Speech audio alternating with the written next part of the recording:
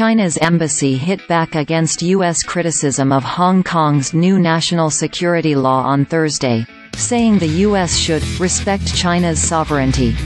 Hong Kong lawmakers passed a new national security law on Tuesday which critics say grants the government more power to quash dissent. The law includes stringent penalties for a wide range of actions including, treason, and, insurrection, which are punishable by life imprisonment.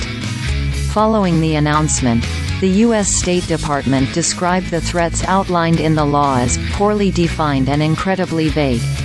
We believe that these kinds of actions have the potential to accelerate the closing of Hong Kong's once open society, spokesperson Vedant Patel said. China's embassy in the U.S. responded by saying that other countries should not interfere in its affairs. Hong Kong is China's Hong Kong. Hong Kong affairs are purely China's internal affairs, which no country is in the position to point fingers at or interfere in, a spokesperson said on Wednesday.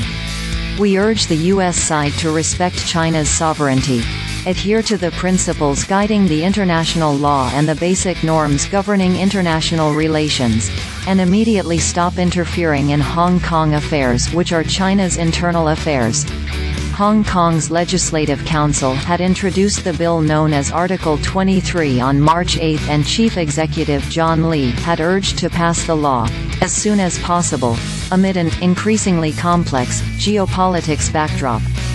Earlier this month, China's Foreign Minister Wang Yi said the U.S. had been devising new ways to suppress China, and its accusations against Beijing had reached an unbelievable degree. There is some progress in the China-U.S.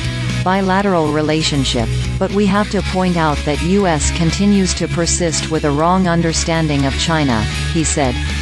CNBC's Evelyn Cheng and Clement Tan contributed to this story.